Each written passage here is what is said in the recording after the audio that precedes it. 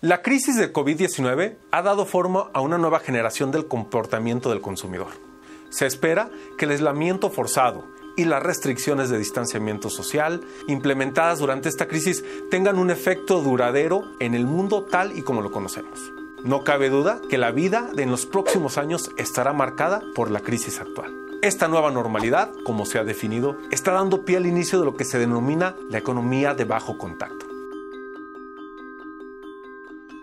Hola, soy Fernando Macías, Manán, y en este video hablaré sobre las características de la denominada economía de bajo contacto que cada vez es más común en nuestra vida cotidiana. Si te gusta el video, no olvides darle like, inscribirte al canal y activar las notificaciones.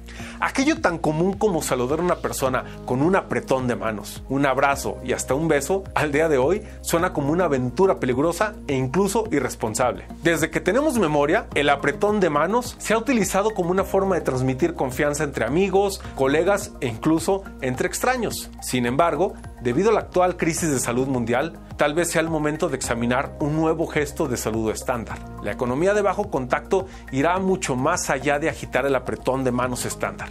Podemos esperar que las regulaciones que impulsan el cambio también tengan impactos tanto a corto como a largo plazo en los consumidores y en nuestra economía. Aunque ya se ven las posibilidades de una vacuna en el horizonte, no deberíamos sentirnos demasiado cómodos. La verdad es que el tiempo va a ser una montaña rusa de prueba y error, mientras nuestros gobiernos intentan llevar a la sociedad a un lugar donde estemos listos para una próxima recuperación. Entonces, ¿qué deberíamos hacer las empresas y los negocios mientras tanto? La economía necesita improvisar para mantener a flote las empresas tanto grandes como pequeñas, y para ello es necesario repensar y rediseñar la forma de intercambiar el valor entre empresa y consumidor.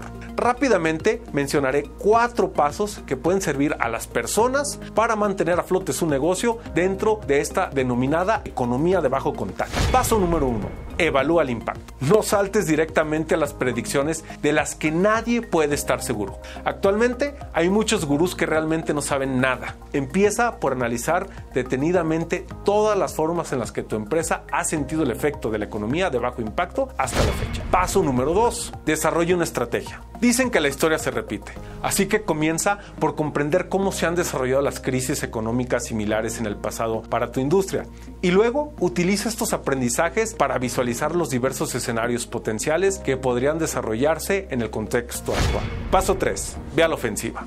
Está claro que existe mucha presión para mitigar los riesgos actuales, pero lo que te puedo recomendar es que comiences a planificar la siguiente fase, especialmente porque podemos asumir con seguridad que los próximos años estarán marcados por réplicas en la economía que deberán tenerse en cuenta continuamente. Y finalmente, haz que suceda aprovecha el nuevo orden mundial para cuestionar todas las normas comerciales anteriores. Todas las reglas están apagadas, es decir, por primera vez en muchos años no existe una forma correcta de hacer las cosas. Así que tenlo claro, nadie, nadie puede predecir el futuro, solo podemos prepararnos para él.